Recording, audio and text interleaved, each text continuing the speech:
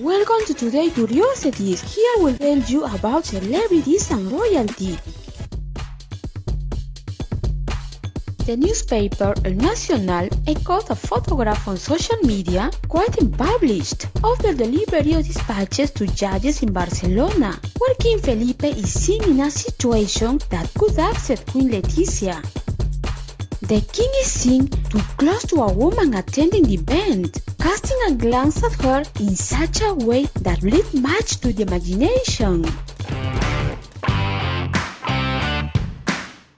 His father, King Emeritus Juan Carlos, was also remembered on social media for his fame as a gallant.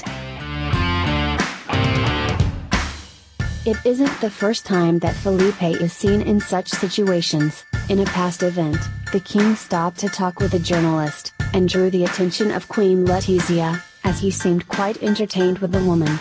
It was attributed to a jealousy issue, but perhaps it was more a matter of timing.